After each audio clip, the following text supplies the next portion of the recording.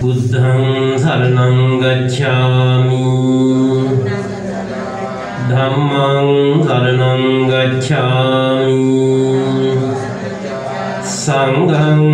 සරණං ගච්ඡාමි එතකොට මේ අපේ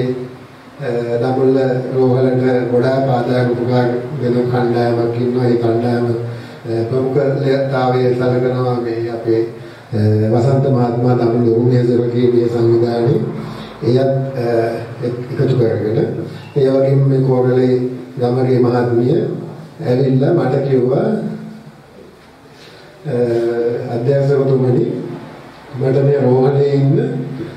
සියලුම රෝගීන් ඒ වගේම සියලුම කාර්ය මණ්ඩලය ඒ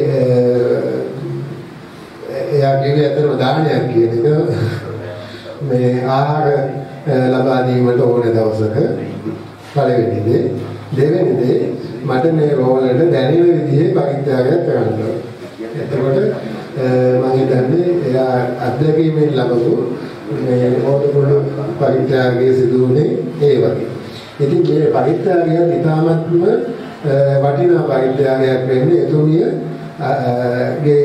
පෞද්ගලික සම්බන්ධතා ඔස්සේ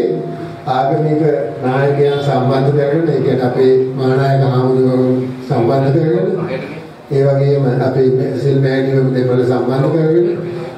පෞද්ගලික ආධාර කරුවන් ගොඩක් සම්බන්ධ කරගෙන සිදු කරපු ආදාපේ. එහි එහිලා මම මේ මේ අවස්ථාව කොට ගන්නවා එහිලා ප්‍රමුඛත්වයක් ගත්ත මේ කෝරළේ ගමගේ මහත්මිය සමග මේ අපේ තෙලින මුදලාලි මහත්මයා එතුමා හම් වෙලා ඒ වගේම අපේ ජයලංකා මහත්මිය ඒ වගේම වසන්ත මහත්මයා ප්‍රමුඛ අනිකුත් මාට මේ මේ අවස්ථාවේදී ලයිස්තුවක් කියන්නේ නැතුව ඒ ප්‍රමුඛ කණ්ඩායම කියලා මම කියන්න මේ කණ්ඩායම අපේ රෝහලට මේ පරිත්‍යාගය සිදු කළා.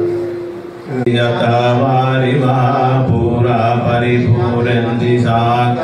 ඒවමේව හිතෝ विन्नं वेदानम् उपतपति इदं वो ज्ञातीनं होतु सुखिता हन्तु ज्ञातयो इदं वो ज्ञातीनं होतु सुखिता हन्तु ज्ञातयो